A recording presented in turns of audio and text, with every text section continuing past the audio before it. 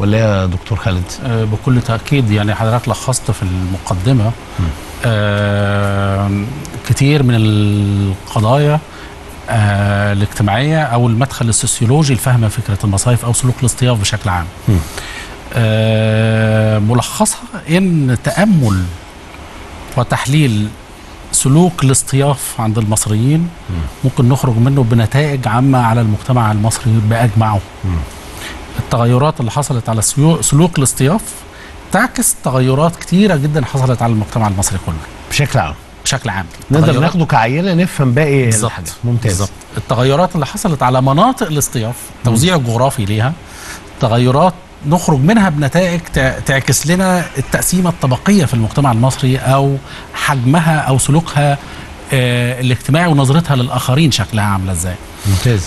تأمل سلوك واحد ممكن يكشف لنا أبعاد اجتماعية أبعاد اقتصادية أبعاد ثقافية تفهمنا جانب مظلم من آه، حياة المصريين ممتاز. طيب أنا عايز أبدأ بحاجتين الحقيقة أسأل حضرتك حاجتين حاجة تاريخية ورقم أنا ذكرته من شوية. عايز أبدأ إنه المصريين زمان كانوا مقررين إن هم ما يروحوش المصايف كانوا بيسافروا بره مصر. ده يعني ده رقم واحد تاريخيا.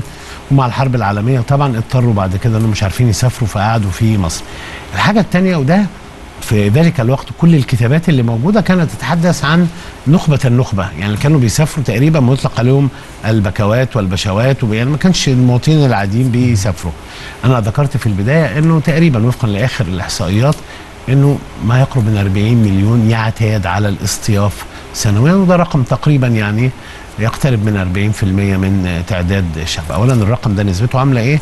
وتاريخيا يعني لماذا تحول المصيف من فكرة اليتيست فكرة نخبوية جدا إلى يعني فكرة عامة تقريبا بنتكلم في يعني آه، قريب من نص الشعب آه، بشكل عام آه، سلوك الاصطياف هو نوع من الترفيه.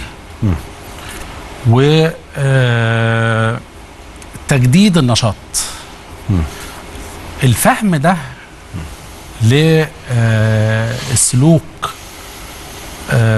غير معتاد على طبيعة المجتمع المصري أو المصريين في فترة تاريخية معينة لأنه مرتبط رقم واحد بمستوى المعيشة نمط المعيشة طريقة حياة معيشة الناس رقم اتنين بهيكل المهن اللي موجودة مم.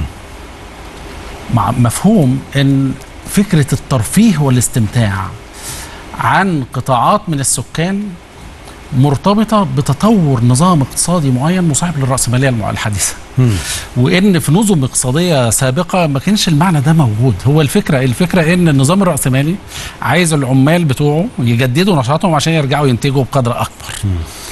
وبالتالي تنشأ فكرة الترفيه بأشكال متنوعة منها فكرة الاجازات الصيفية أو آه